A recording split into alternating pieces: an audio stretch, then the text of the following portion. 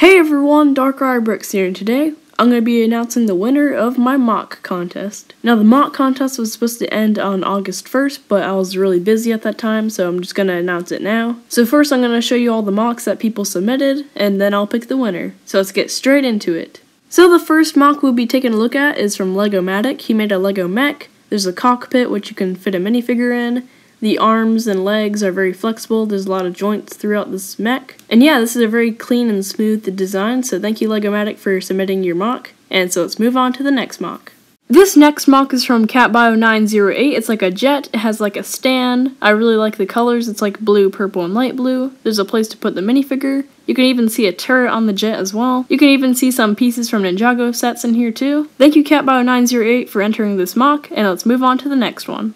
And this MOC is from Ranga Lewis. He did a really good job. It's a Scarif MOC. You can see some stormtroopers and a shore trooper. You can see a palm tree in the background. You can even see some Chima crystal pieces representing water splashing up against the sand. There's also a grassy area in the background too. And you can even see some sand on a stormtrooper's helmet, which is a lot of detail. So thank you Ranga Lewis for submitting your MOC, and let's move on to the next one.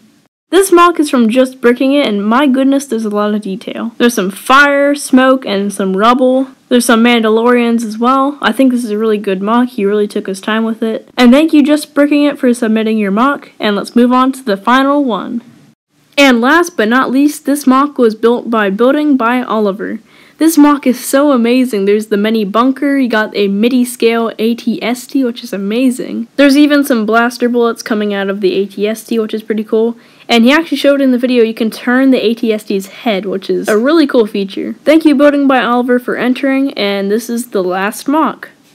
So after at looking at all the MOCs, I have chosen a winner. Just remember, if you're not the winner, it's not because your MOC was bad, I'm just saying I just really love the detail of the winner's MOC. Alrighty, let's get into it. Okay, so the winner is...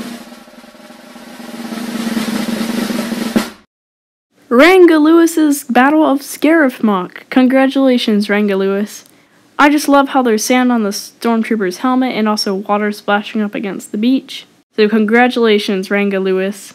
Yeah, and with that, thank you everyone for entering, and congratulations to Ranga Lewis again. Everyone's channel will be in the description, so make sure to go check them all out. Anyways, have a wonderful day. Bye!